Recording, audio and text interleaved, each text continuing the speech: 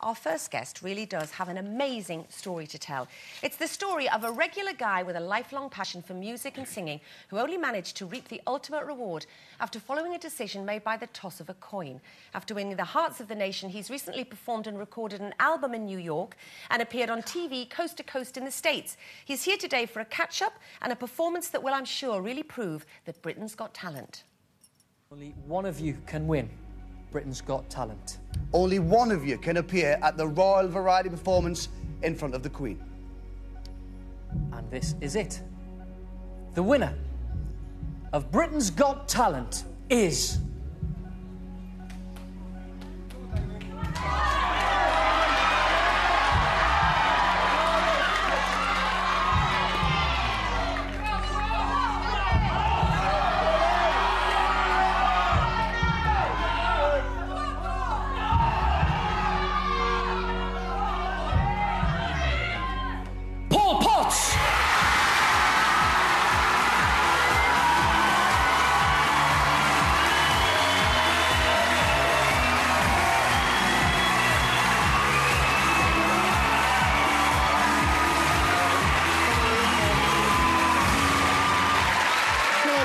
Congratulations, congratulations. Can you believe you are the winner of Britain's Got Talent? Please welcome the magnificent Paul Potts. Paul,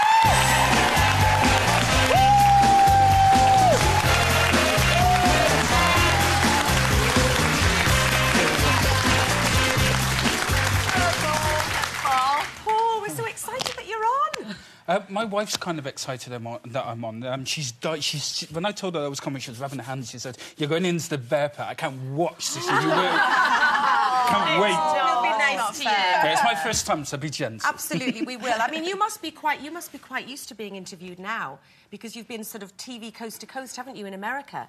Um, well, I don't think I'll ever get used to it. it it's must it's be- always a bit. Just tell us about just tell us about this thing that you sort of it was on the toss of a coin that you decided to enter the competition. Well, I'd spent an hour just doing doing some work on online. I was always doing my my work emails late at night because I never had time during the working day. And um, I just came across the an advert for Britain's Got Talent on the on the website on the website, and um, I thought I'd fit it in. And I got to the end, and I thought, well, should I go for it? I mean, am I am I too old? Have I got enough talent? You know, have I, you know, am I what they're looking for? And I thought, well, I don't know. So I minimised it, carried on doing some work, and um, it was time to go to bed. It was one o'clock in the morning by this time. And um, I thought, I really don't know. I had one 10 pence piece left in my pocket. So I got it out, tossed the coin. And I thought, well, if it lands on heads, I'll press submit. If it lands on tails, I'll press cancel.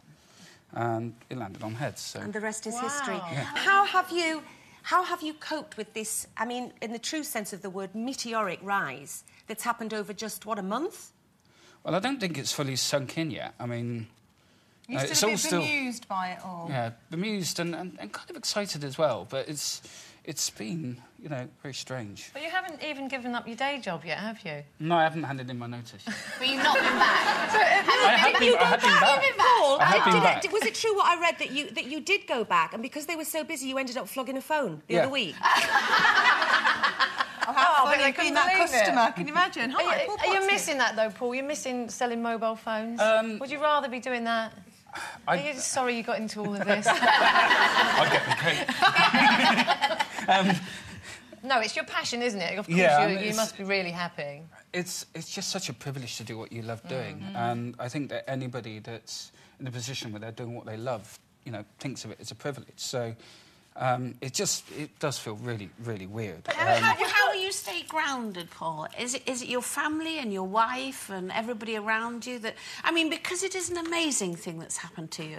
And to keep grounded, it must be quite hard because everything's must be whizzing around you every day.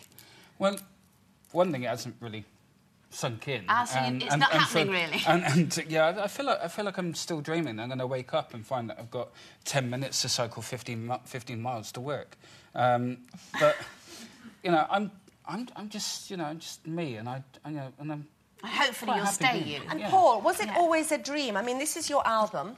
Um, Paul Potts One Chance that came out on on Monday. I mean, when you look at that now, I bet you I bet you can't believe it because it must have been the ultimate dream to make your own album. I think it was beyond my dreams. I mean, I used to, I used to, I used to, um, you know, lie in the bathtub just to watch Did it. Did you never do any singing before, like semi-professionally or I did any some amateur. I, training? I did. s- I did some amateur singing um, for for for an, an opera company called Bath Opera, and um, I did some some amateur productions with them. And I'd spent a bit of time in Italy just doing training that I'd saved for out of my own pocket. You know, work nights to actually be able to afford it. Yeah. And um, so I'd done that. But I mean, I I came across some bad luck with illness and and injury, um, and.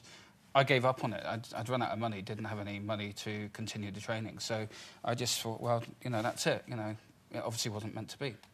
Well, it was, wasn't it? Well, well, listen, Paul. I mean, thanks for coming on. Good luck with this. I know it's storming up the charts if it hasn't already got to the top. And uh, we're going to see you later. You're going to sing for us. But for the time being, ladies and gentlemen, the fantastic Paul Potts.